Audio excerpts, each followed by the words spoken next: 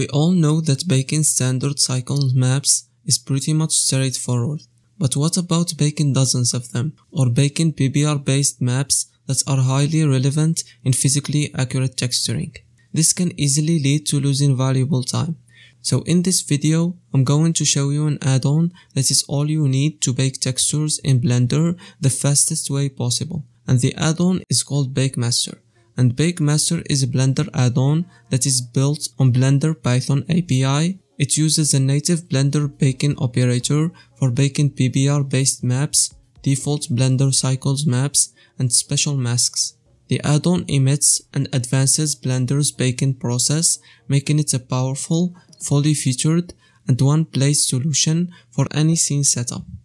BakeMaster is simple and convenient for comfortable use, it lends with numerous tweaks and toggles to fully meet your ultimate texture and baking preferences. It only takes you 3 steps to bake your map, add meshes, add maps, set and hit bake, and you're done. The add-on allow you to bake 25 different map types that are available ranging from PBR based maps, default cycles maps to special masks. It also allow you to bake an unlimited number of objects and maps each with unique settings. It offers real-time map preview in the viewport and you can also bake to UDIM tiles. It offers features like packing many items onto one map fully customization of the add-on panel, baking adaptive displacement with automatic modifiers, fully customizable map bakes, and denoising baked maps.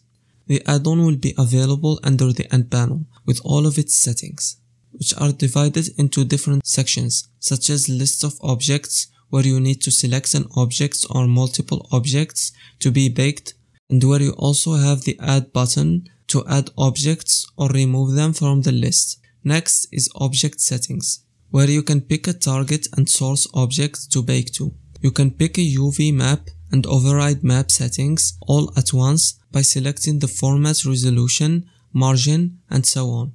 The map settings section is where you can choose which map you want to bake for specific object. You can add as many maps as you want with each one holding its parameters and customizations. You can switch map types by clicking the map type and choosing one from the list of maps and masks and to adjust each map parameter, you can use the specific settings underneath the outline. To have more control over the texture, you also have a big settings section where you can check the material option to automatically create a material with all the baked maps. Also an option to either bake images to the disk or pack them into the Blender file, as well as the path to specifically output directories and even take the option to create subfolders inside the output directory. You also have the batch naming option, which is similar to what you have in Substance Painter.